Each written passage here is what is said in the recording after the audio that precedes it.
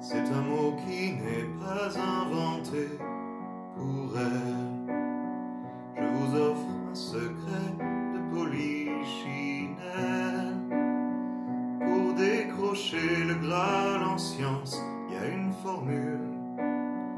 L'ingrédient clé semble être une paire de testicules. Statistiques hommes-femmes. Le Nobel, c'est plus vieux jeu que Francis Lalanne. Quel est celui qui leur jettera la première pierre pour qu'ils arrêtent de penser comme à l'âge de pierre. Ô roi de Suède,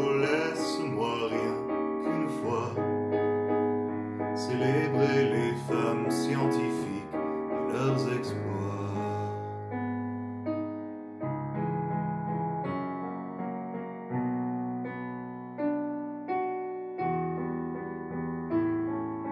Nobel.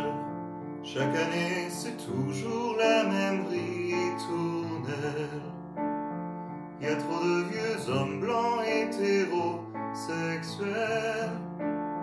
Si tu vas à Stockholm pas rentrer bredouille, ça peut t'aider de te munir d'une paire de couilles. Elle représente près de la moitié des cervelles mais à peine 6% des lauréats Nobel. Elle, qui s'appelle Lise Meitner ou Rosalind Franklin,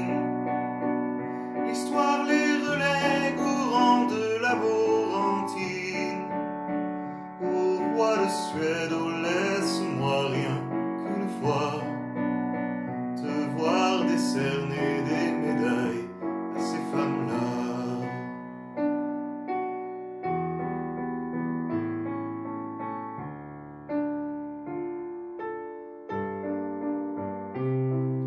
Nobel, malgré ses beaux discours qui nous ensorcellent, souffrent d'un différentiel.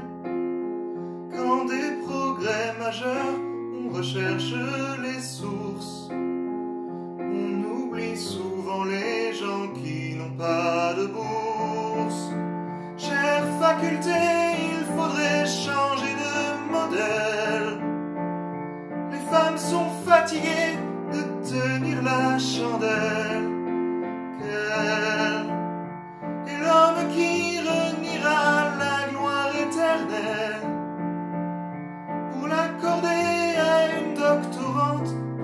Jesus.